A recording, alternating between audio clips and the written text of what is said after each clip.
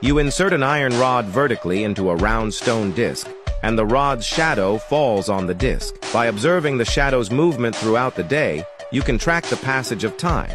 But this method is imprecise, so you cleverly tilt the rod to point toward the North Star, ensuring the shadow moves evenly across the disc. Next, Brilliant You divides the disc into 12 equal sections, each marked with a Chinese hour, Zai, Chou, Yin, Mao, etc. When the shadow lands in a section, it indicates that hour. Each hour is further split into start and mid, aligning perfectly with our modern 24-hour day.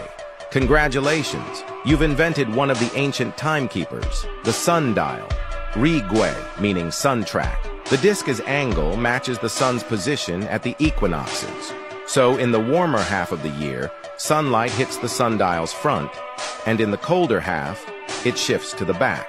This lets the sundial not only tell time, but also track seasons and festivals. But what did the ancients do on rainy days or at night when there's no sun to cast a shadow?